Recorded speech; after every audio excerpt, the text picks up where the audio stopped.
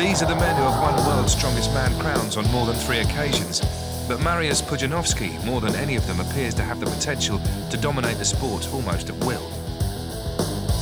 The 2008 competition will go a long way in determining whether he is remembered as the greatest of all time. The latest venue provides a beautiful backdrop and enthusiastic crowds for Pudzianowski's record attempt. But resident Phil Pfister will be enjoying things win, lose or draw. You know, first and foremost, World's Strongest Man is just a fantastic television show. And it's, it's just an honor and a dream come true for my hometown, you know, my state that I've lived in my whole life.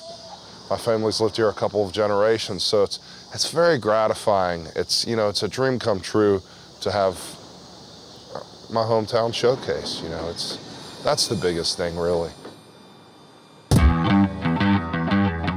30 years, 19 countries and 17 champions after the very first contest at Universal Studios, the world's strongest man is in rude health.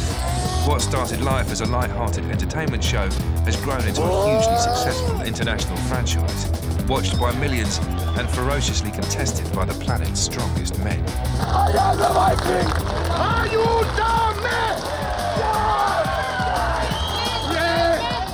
what, if anything, has changed over the years? I don't think the, the, brute strength is, is, is, higher by any means today. I think all the champions have, have been really strong people. The difference is that the old guys came from other power sports into strongman, and the, most of the guys today thinks of strongman from, from day one. Let's go! Come on, baby. The eras may be different and the events have been tweaked, but three decades after the contest's inception, the prize is undeniably the same. The title, World's Strongest Man, is one of the most evocative there is. In the past, it was all about how strong a man was, um, or what he could achieve against somebody else. It goes back to the warring clans of Scotland, about challenging, you know, uh, in terms of fights and clan wars. People are still fascinated what men can achieve in a purest sense to actually be acclaimed the world's strongest man. But if these giants were to meet today in a one-off contest, who out of Bill Kazmaier, Jón Páll Sigmarsson, Magnus Ver Magnusson and Mariusz Pudzianowski would prevail? If I was really going to stick my neck out, I think Kaz would still be the man to beat if he was around today.